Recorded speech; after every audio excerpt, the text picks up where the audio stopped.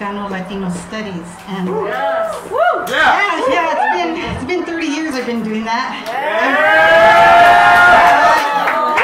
I'm a historian, and you know, it's so important that we all know our history.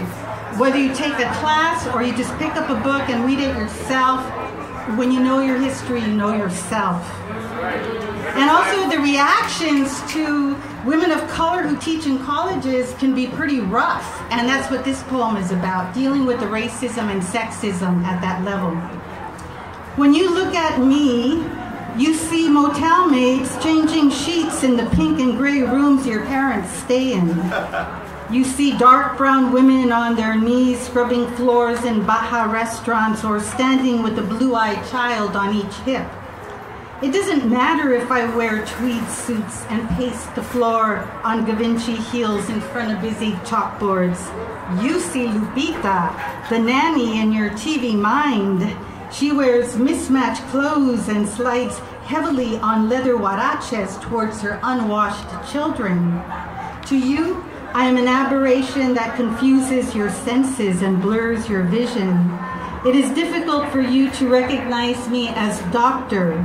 You want me to remain nameless, silent, invisible.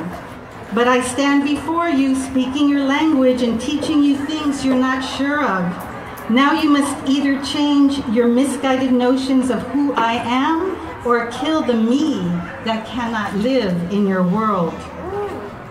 When you look at me, you see educated nipples, intelligent legs, a brilliant ass. That's right. That's right. You girls know what I'm talking about. Yeah. You chica, mija, chula me until you get beyond the fact I have a PhD. Right.